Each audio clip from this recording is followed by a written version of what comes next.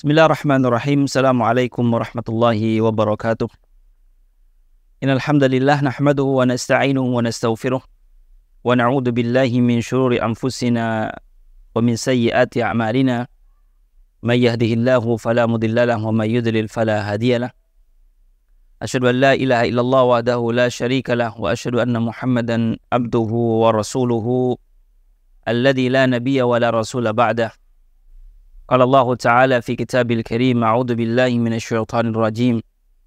يا أيها الذين آمنوا اتقوا الله حق تقاته ولا تموتن إلا وأنتم مسلمون. وقال أيضا يا أيها الذين آمنوا اتقوا الله وقولوا قولا سديدا. يصلح لكم أعمالكم ويغفر لكم ذنوبكم. ومن يطع الله ورسوله فقد فاز فوزا عظيما. فإن أصدق الحديث كتاب الله. وخير الهدي هدي محمد صلى الله عليه وسلم وشر الأمور محدثاتها فإن كل محدثة بدعة وكل بدعة ضلالة وكل ضلالة في النار أما بعد Segala puji hanya milik Allah Subhanahu wa taala yang telah memberikan kita segala nikmat nikmat iman dan Islam adalah nikmat yang paling besar. Karena dengan dua kenikmatan ini kita bisa melaksanakan ibadah pada bulan Ramadan dengan penuh keimanan dan penuh dengan ihtisaban. Karena dengan dua kenikmatan ini kita rela dan ikhlas mengerjakan bulan Ramadan dengan ibadah-ibadah dan menjauhi larangan-larangan Allah Subhanahu wa taala yang mana tidak lain hanya ingin mendapatkan ridha dan ampunan Allah Subhanahu wa taala. Dan juga dengan kenim dan kenikmatan keimanan itu seorang muslim bisa khusyuk mengerjakan puasa di bulan Ramadan, mengerjakan qiyam, salat tarawih atau qiyamul lail, salat tahajud dengan khusyuk, dengan ikhlas. Karena dengan keimanan tersebut, ibadah tersebut akan terasa ringan dan terasa khusyuk bagi seorang kaum muslimin. Kemudian yang tidak kalah lebih pentingnya nikmat kesehatan dan juga nikmat waktu luang. Yang mana nikmat ini banyak sekali kaum muslimin melupakan tentang kenikmatan ini. Sebagaimana yang disampaikan Nabi Shallallahu Alaihi Wasallam, nikmatani maghbunun fihi ma kathiru minan nas. Ada dua kenikmatan kata Nabi SAW yang mana banyak manusia laki-laki, perempuan, tua, muda, lupa dengan dua kenikmatan ini. Bahkan bukan hanya lupa, bahkan menghiraukan, melalaikan dengan kedua kenikmatan ini. Apa dua kenikmatan itu kata Nabi SAW? Nikmatus sihhati wal farah. Yaitu nikmat kesehatan dan nikmat waktu luang. Para pendengar nikmati Allah Subhanahu wa taala di mana pun berada nikmat sehat dan nikmat waktu luang adalah dua kenikmatan yang sangat sangat sentral bagi seorang muslim. Seorang muslim tujuannya diciptakan di muka bumi ini adalah beribadah kepada Allah Subhanahu wa taala. Wa ma khalaqtul jinna wal insa illa liya'budun. Tidaklah aku menciptakan jin dan manusia melainkan untuk beribadah kepada Allah Subhanahu wa taala. Dan ibadah atau sebuah ibadah seorang muslim ingin mengerjakan sebuah ibadah, ibadah itu tidak akan maksimal, tidak akan sempurna ketika dua kenikmatan itu tidak kita miliki. Nikmatus siha, kesehatan. Orang muslim memiliki keinginan, memiliki semangat untuk beribadah. Memiliki semangat untuk menambah amal soleh. Tapi kalau seandainya kesehatannya terganggu, dia tidak bisa memaksimalkan kes, e, ibadah tersebut seorang muslim memiliki kesehatan yang luar biasa, memiliki keinginan untuk untuk berbuat baik atau beribadah, tapi tidak memiliki waktu yang pas untuk mengerjakan amal soleh, juga tidak bisa mengerjakan amal soleh. Maka kata Nabi SAW, nikmat ini, dua ini, yang banyak sekali kaum muslimin melupakan dengan dua kenikmatan itu, yaitu nikmatu as-sehati wal faraq. Yang mana nikmat-nikmat ini nikmat iman dan Islam, nikmat kesehatan dan juga nikmat waktu luang wajib dan sepatutnya bagi kaum muslimin untuk mensyukuri. Supaya apa? Supaya Allah Subhanahu wa taala sebagaimana yang Allah janjikan, la in syakartum la azidannakum wa in kafartum inna adzabi lasyadid. Jika kalian bersyukur terhadap nikmat Allah Subhanahu wa taala, Allah pasti akan menambah kenikmatan tersebut. Kita bersyukur dengan nikmat iman, dengan mengerjakan amal soleh, pasti Allah Subhanahu wa taala akan menambah keimanan kita, akan memberikan keimanan lebih kualitas. Ketika kita bersyukur dengan kesehatan kita, insya Allah Allah Subhanahu wa taala akan menambah kesehatan kita, akan memberikan rasa sehat itu sebagai murih, sebagai hal yang eh, menyenangkan, tentunya diisi dengan ibadah. Salat salam mudah-mudahan salat curahkan kepada Nabi kita Muhammad sallallahu alaihi wasallam pada keluarganya, kepada sahabatnya dan orang-orang yang selalu mengikuti sunnahnya sampai akhir zaman. Pendengar mati Allah Subhanahu wa taala. Bulan ini adalah bulan yang sangat mulia yaitu bulan Ramadan. Bulan yang mana tidak ada duanya, dalam satu tahun Hijriyah, bulan yang paling mulia adalah bulan Ramadan. Hari-hari di bulan Ramadan adalah tidak kita isi kecuali dengan ibadah kepada Allah Subhanahu wa taala. Berlalunya bulan Ramadan kita sesali ketika kita tidak mengisinya dengan amal soleh. Bahkan sebaliknya, seandainya diisi dengan sia menyia-siakan waktu, tidak mempergunakan waktu Ramadan dengan sebaik-baiknya itu yang harus kita sesali. Bulan Ramadan adalah bulan yang mana bukti penghambaan seorang muslim kepada Allah Subhanahu wa taala itu terjadi di bulan Ramadan. Karena di bulan Ramadan seluruh syahwat seorang muslim itu terhenti dengan bulan, datangnya bulan Ramadan. Bulan Ramadan adalah sebagian para ulama mengatakan adalah sebuah ibadah puasa yang mana ibadah tersebut adalah muamalah khusus antara seorang muslim dengan Allah Subhanahu wa taala Tuhan yang Maha Kuasa. Hubungan Allah Subhanahu wa taala dengan seorang muslim tersebut memiliki hubungan yang spesial dibandingkan ibadah-ibadah yang lain.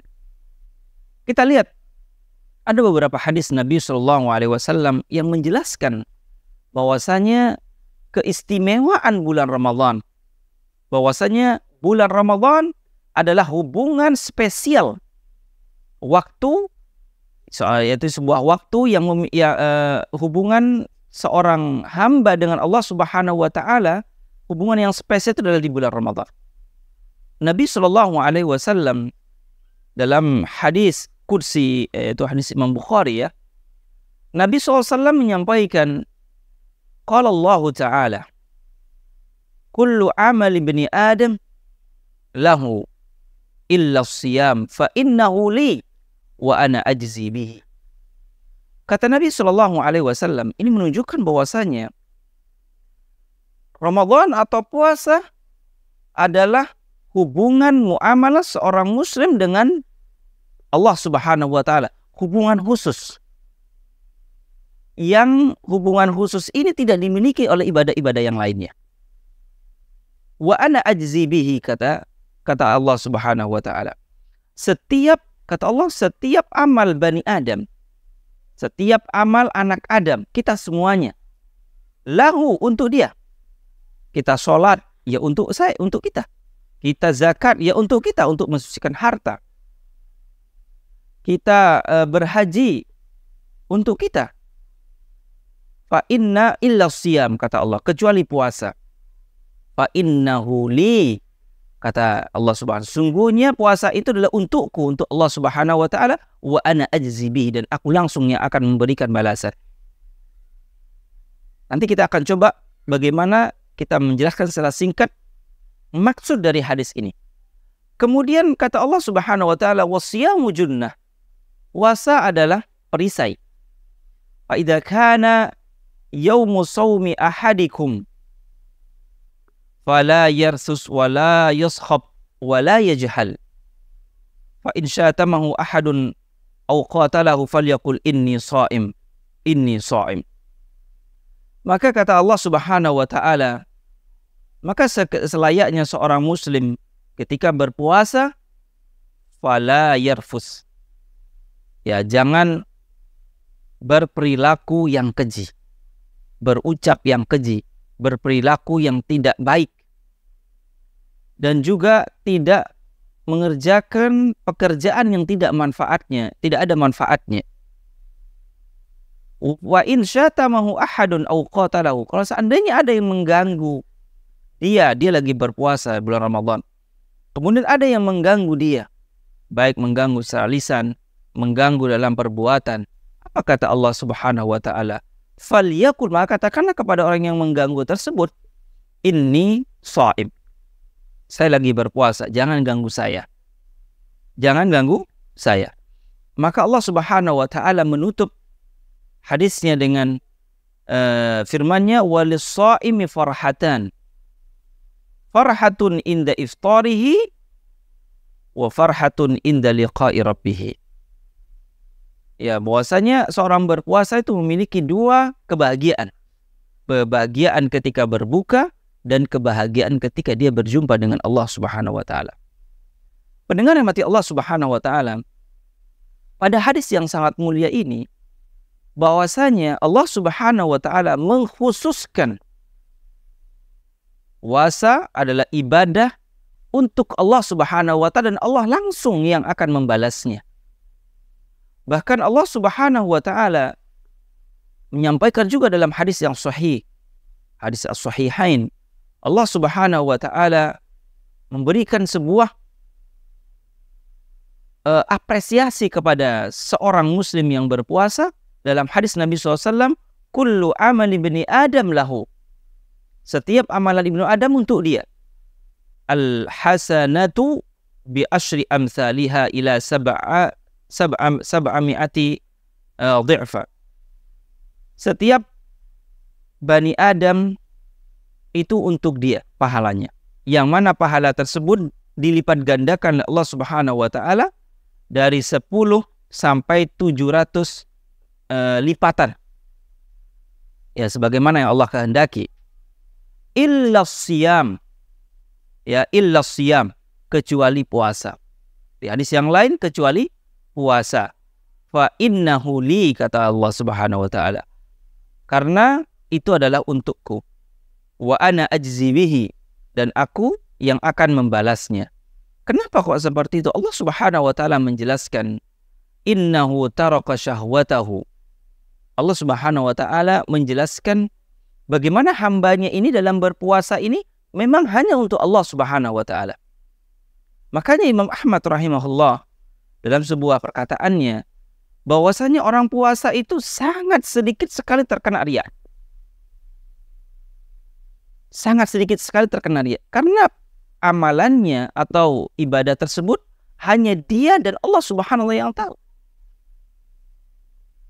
Makanya ibadah yang sangat sedikit sekali terkena oleh adalah ibadah ibadah puasa. Kenapa kata Allah innahu taraka syahwatahu wa ta'amahu wa syarabahu min ajri. Karena dia harang hamba tersebut meninggalkan syahwatnya meninggalkan hawa nafsunya. Hawa nafsu meliputi segala hal. Hawa nafsu yang berhubungan dengan hubungan biologis, hawa nafsu yang berhubungan dengan uh, pekerjaan dosa yang lain seperti memakan harta haram, seperti uh, ucapan yang tidak baik, yang itu ucapan yang berdiba, ucapan yang melukai hati orang lain, dan lain sebagainya. Dia tinggalkan karena apa? Karena untuk Allah Subhanahu wa taala. Meninggalkan urusan syahwatnya, meninggalkan uh, emosinya, meninggalkan segala hal yang merusak kepada pahala puasanya dia tinggalkan. Wa taraka ta'amahu dan hamba ini meninggalkan makan. Makan ya dia tinggalkan. Namanya orang berpuasa tidak boleh makan.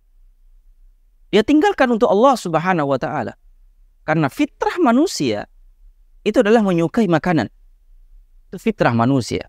Tapi ketika datang bulan Ramadan, seorang hamba tersebut dengan ikhlas dan tulus meninggalkan fitrahnya untuk sementara waktu untuk mendapatkan dan menunaikan perintah Allah Subhanahu wa taala meninggalkan makan dan juga meninggalkan minum. Kemudian Allah Subhanahu wa taala mengatakan la farhatan farhatun inda fitrihi wa farhatun inda liqa'i rabbih. Wala hulufu fami atyab inda Allahi min rihil misk. Bahwasanya yang sudah disebutkan tadi, seorang yang berpuasa memiliki kebahagiaan yang Allah khususkan yaitu nanti berjumpa dengan Allah Subhanahu wa taala yang Allah akhirkan nanti di hari kiamat dan kebahagiaan yang Allah dahulukan di dunia yaitu ketika dia berbuka puasa. Setiap seorang muslim pasti suka. Mendekati buka puasa, sangat suka sekali. Sangat senang.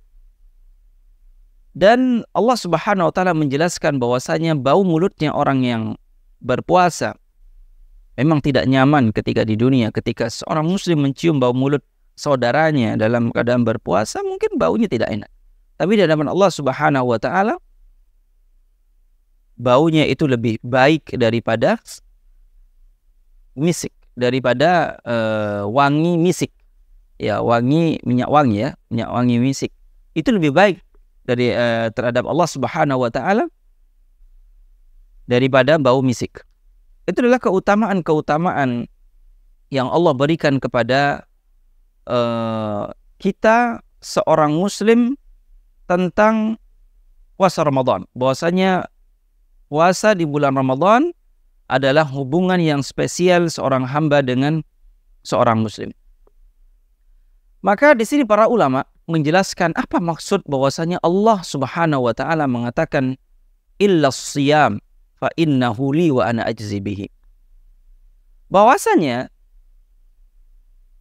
semua amalan itu pahalanya akan dilipat gandakan oleh Allah Subhanahu wa taala dari 10 sampai sampai 700 lipatan. Allah Subhanahu wa taala akan melipat gandakan. Ini juga termasuk rahmat Allah Subhanahu wa taala bagi seorang muslim ketika dia berbuat baik, maka Allah Subhanahu wa taala akan lipat gandakan pahalanya dari perbuatan baik tersebut. Kalau seandainya perbuatan buruk, maka hanya tulis satu. Kalau dia mengerjakan perbuatan buruk satu, ya ditulis satu. Kalau perbuatan baik, maka Allah Subhanahu wa akan melipat gandakan. Illa siyam kecuali puasa. Bahwasanya puasa ini Allah Subhanahu wa taala tidak membatasi uh, lipatan pahalanya dari 10 sampai 700 uh, eh, lipatan, tidak. Tetapi sampai kapan? Sampai yang Allah inginkan, artinya lebih banyak daripada itu. Allah Subhanahu wa taala menjadikan pahala orang yang berpuasa itu tidak ada bilangan lipatan. Karena saking banyaknya. Karena saking uh, luar biasanya amalan puasa ini sampai Allah Subhanahu wa taala akan memberikan pahala yang Allah Subhanahu wa taala kehendaki. Itu maksudnya. Bahwasanya wa ana ajzi bihi bahwasanya Allah langsung yang akan memberikan pahala tersebut yaitu pahala yang tidak terhingga. Ya. Yang mana uh, dari amalan yang lain Allah, menjela, uh, Allah menjelaskan dengan lisan nabinya Allah Subhanahu akan melipat gandakan 10 sampai 700. Tapi kalau kalau puasa Allah sendiri yang akan memberikan pahala yang tidak terhingga dengan bilangan 10 sampai 700 lipat. Luar biasa. Ini termasuk rahmat Allah Subhanahu wa taala yang diberikan kepada kita uh, umat Muhammad sallallahu alaihi wasallam ketika berpuasa Allah Subhanahu wa taala memberikan adhafan katsirah memberikan lipatan pahala yang sangat banyak sekali tidak terbatas dengan bilangan. Dan juga dalam uh, bulan Ramadan adalah bulan bulannya sabaran. Ya sebagaimana yang disebutkan dalam ada sebuah riwayat dari Nabi SAW annahu sama syahrul Ramadan syahrul sabar. Bahwasanya bulan Ramadan adalah bulannya sabar yang pernah kita uh, sampaikan bahwasanya bulan Ramadan adalah bulannya bulannya sabar. Sebagaimana juga hadis yang disampaikan uh, Imam At-Tirmidzi, Nabi SAW menyampaikan as-saumu nisfus sabar. Puasa itu adalah separuh dari sabar. Ya, separuh dari sabar. Karena uh, pendengar yang mati Allah Subhanahu wa taala, karena sabar itu ada tiga. Sabar itu ada tiga. Sabar dalam ketaatan. Jadi orang orang berbuat taat, orang ya, berbuat amal soleh itu butuh sabar sabar dengan lamanya terawih. Ya butuh sabar. Sabar dengan uh, duduknya membaca Al-Quran. Sabar. Sabar juga dalam bersedekah. Memberikan makan orang yang berpuasa. Ia perlu sabar. Kemudian yang kedua adalah sabar in alal maharim. Maharimillah yaitu sabar dalam menahan diri dari perbuatan maksiat kepada Allah Subhanahu wa taala. Yang mana itu bisa terjadi ketika di lain bulan Ramadan. Mungkin di lain bulan Ramadan orang gampang berbuat dolim seandainya. Di bulan Ramadan karena dia tahu dia lagi berpuasa di bulan Ramadan dia tahan dirinya dari berbuat eh, dari mengerjakan amal amal yang buruk. Di, di bulan yang lain dia boleh makan dan minum. Di bulan Ramadan makan dan minum menjadi haram siang hari. Dia tahan dirinya. Kemudian yang ketiga adalah wasobru ala aqdarillahi al-mu'limah. Yaitu sabar menerima takdir yang menyakitkan. Maka dan ini banyak uh, kaum muslimin menerima takdir yang menyakitkan itu adalah sebuah tantangan dan sebuah hal yang spesial sebenarnya bagi seorang muslim ketika mendapatkan takdir yang e, menyakitkan. Kita pertama adalah harus sabar. Harus sabar. Dan sabar itu adalah inda sudmatil ula sabar itu adalah ketika tertimpa pertama kali ketimpa masalah pertama kali tertimpa dengan hal yang buruk dia langsung sabar. Ya bukan sabar itu uh, apa ya ibaratnya marah-marah terlebih dahulu atau dia ngeluh terlebih dahulu baru mengatakan astagfirullah sabar sabar. Bukan seperti itu. Sabar itu adalah inda sudmatil ula. Ketika kena hantaman pertama itu adalah namanya sabar dan itu terlatih yaitu di bulan Ramadan bagaimana seseorang muslim sabar di bulan Ramadan maka tiga macam sabar ini semuanya berkumpul di bulan Ramadan Semuanya berkumpul di Ramadan. Kita perhatikan. Sabar dalam ketaatan. Coba. Sabar dalam ketaatan kita terawih. Coba bayangkan habis sholat isya. Ya, yang mana siang hari kita puasa. Mungkin lelah. Belum lagi yang bekerja. Setelah sholat isya kita harus sholat terawih. Sabar kita. Tidak bolong sholat terawihnya. Sabar. Kemudian ketika di bulan Ramadan dia menahan diri dari amarah, dari emosi, dia sabar. Karena menahan diri dari amarah dan emosi termasuk taatan kepada Allah Subhanahu wa taala. Itu ada di bulan Ramadan. Kemudian ketaatan ketika uh, mencegah diri dari perbuatan yang haram itu juga ada di bulan Ramadan. Seorang muslim meninggalkan syahwatnya. Ya, meninggalkan keinginannya untuk berbuat kemaksiatan dia tahan di bulan Ramadan. Dan juga sabar ketika menerima takdir yang menyakitkan yaitu orang menahan lapar dan minum. Orang menahan lapar dan dahaga itu sangat luar biasa. Lapar dan dahaga itu menyakitkan bagi manusia. Tapi dia sabar. Karena ini adalah perintah Allah Subhanahu wa taala dan kadang karena lapar dan karena lapar dan dahaga bisa menyebabkan badan kita lemas, bisa menyebabkan kita tidak semangat, tapi kita tetap sabar dan semangat. Bahwasanya ini adalah perintah Allah Subhanahu wa taala yang wajib ditunaikan. Maka dari macam sabar itu, macam tiga macam sabar itu, semuanya dikerjakan oleh seorang muslim dengan baik, maka dia mendapatkan pahala sabar sebagaimana yang disampaikan oleh Allah Subhanahu wa taala, "Innama yuwaffas sabiruna ajrahum bighairi hisab." Sungguhnya Allah Subhanahu wa taala akan memberikan balasan bagi orang yang sabar dengan pahala yang tidak bisa dihitung. Apalagi yang ada apalagi itu berada di bulan di bulan di bulan Ramadan. Pendengar yang mati Allah Subhanahu wa taala uh, perlu diketahui bahwasanya Allah Subhanahu wa taala uh, melipat gandakan pahala itu uh, ada dua hal. Ada tiga macam kenapa Allah Subhanahu wa taala melipat gandakan pahala. Yang pertama sebab yang pertama adalah inda syarafil makan yaitu menyangkut tempat. Ya, menyangkut tempat Allah Subhanahu wa taala akan melipat gandakan pahalanya. Seperti berada di Masjidil Haram dan Masjidil Nabawi ya bahwasanya sholat di sana lebih afdol daripada sholat di masjid-masjid yang ada selainnya. Kemudian uh, sebab dilipat gandakan amal adalah inda syarafiz zaman. Karena waktunya yang mulia, yang Allah muliakan, yaitu seperti di bulan Ramadan. Bahwasanya di bulan Ramadan, di bulan yang lainnya saja Allah melipat gandakan pahala, apalagi di bulan Ramadan atau seperti di 10 uh, eh, hari Dhul Hijjah atau di hari-hari seperti di Arafah dan sebagainya. Allah Subhanahu wa taala melipat gandakan karena waktunya. Ya, karena karena waktunya. Kemudian juga Allah Subhanahu wa taala melipat gandakan karena kedudukan seorang hamba itu di mata Allah Subhanahu wa taala. Kedudukan yang bagaimana? Kedudukan yaitu kedudukan ketakwaannya.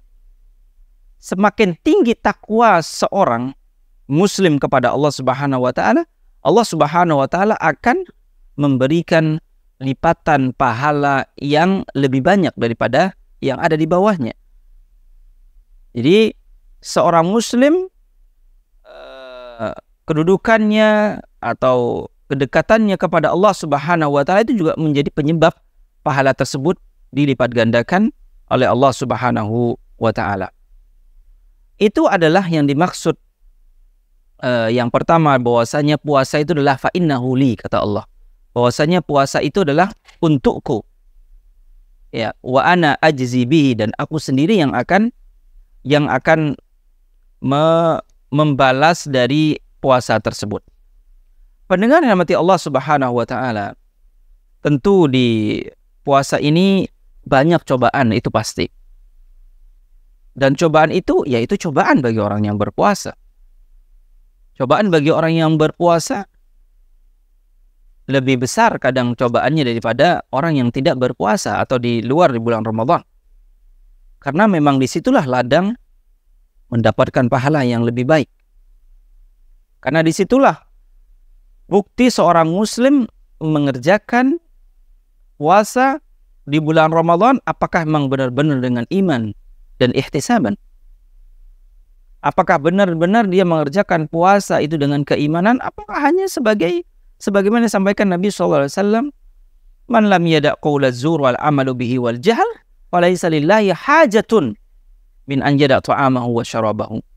Seorang muslim ketika dia berpuasa hanya meninggalkan makan dan minum dan syahwat hubungan biologi saja, hanya itu saja, tapi tidak meninggalkan ucapan, perbuatan yang keji dan perbuatan yang tidak baik, maka kata Nabi SAW, Allah Subhanahu wa taala tidak butuh itu. Tidak butuh tidak butuh kita tidak makan, tidak butuh kita tidak minum. Kalau hanya itu saja, selama dia masih mengerjakan perbuatan yang buruk, Allah tidak butuh. Artinya di mata Allah Subhanahu wa taala tidak ada artinya dia berpuasa. Makanya dalam di bulan Ramadan adalah ibadah yang mana seorang hamba hubungannya kepada Allah Subhanahu wa taala sangat dekat. Karena satu-satunya ibadah yang tidak uh, yang mana orang lain tidak tahu bagaimana isi dari ibadah tersebut kecuali dia dan Allah Subhanahu wa taala. dan ketakwaan dia dalam beribadah dalam berpuasa dan menjalankan ibadah di bulan Ramadan hanya dia dan Allah Subhanahu wa taala yang yang tahu apa dari kualitas ibadah seorang hamba tersebut. Maka dari itu uh, pendengar yang mati Allah Subhanahu wa taala di Ramadan kali ini kita harus selalu meningkatkan kualitas ibadah kita, meningkatkan amal soleh kita, harus kita memperbanyak amal soleh di bulan Ramadan. Ibarat bulan Ramadan ini adalah sebuah perlombaan. Yang mana perlombaan itu ada finalnya. Dan kita harus selalu berharap bahwasannya kita akan selalu berada di final itu. Semua orang dalam sebuah perlombaan akan berharap dia berada di final dan menjadi juara. Maka kita di bulan Ramadan ibaratkan kita berada di sebuah perlombaan dan kita sekarang berada di awal-awal di bulan Ramadan. Kita masuk fase uh, penyisihan, kita masuk ke semifinal, kita masuk ke final nanti di 10 akhir bulan Ramadan dan keluar kita menjadi orang yang juara. Sebagaimana yang disampaikan oleh Allah Subhanahu wa taala. Tujuannya dari puasa Ramadan, diwajibkan puasa Ramadan adalah agar kita menjadi orang yang bertakwa kepada Allah Subhanahu wa taala. Mungkin itu saja yang dapat saya sampaikan. Barakallahu fikum wa jazakumullahu khairan. Semoga amal puasa kita diterima oleh Allah Subhanahu wa taala dan dijadikan kita sebagai hamba yang keluar ketika keluar dari bulan Ramadan sebagai hamba yang muttaqin. Assalamualaikum warahmatullahi wabarakatuh.